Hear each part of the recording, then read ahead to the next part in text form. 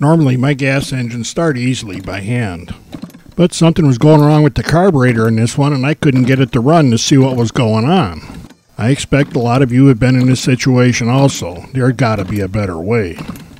I think Sullivan came up with the idea for their starters about the day after RC airplanes were invented and somebody couldn't get their motor started. When I flew RC airplanes over 25 years ago, Sullivan made the best starters, and that apparently hasn't changed a bit since. When I decided to get a starter, I knew it was going to be a Sullivan, and I got the good one. And I even made it more portable, and we'll look at that a little later. The drive cone on this Sullivan starter is probably overbuilt, but it just seems to be how Sullivan does things. These starters are pretty heavy because they're built to last. They even machine a belt groove into the nose cone so you don't have to get a different starter for belt starting systems. The rubber-like adapter that actually makes contact with the spinner is surprisingly tough.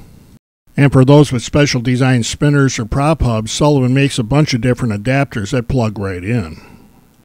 I expect there just isn't a whole lot that Sullivan hasn't already thought of when it comes to putting their starters onto an airplane motor.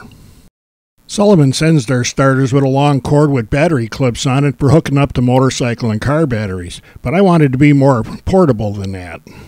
I had this LiPo sitting around and I decided to figure out a way to mount it onto the starter. And altogether the starter and the battery weighs right at 5 pounds. I had a couple hunks of this aluminum angle sitting around, and it's not quite long enough, but I made it work for now and we'll refine this mount later on. I have pieces of Velcro on the battery and on the mount, plus the Velcro straps to secure it. That'll get better when I get some more material. These days I don't spend a whole lot of time flipping my gas motors. Even I do learn eventually. When the motor starts giving me a hard time, I whip out the Sullivan. And that's generally all it takes. So if you've got a motor, or your friends have a motor that gives them a hard time starting every now and then, you need to think about a Sullivan starter.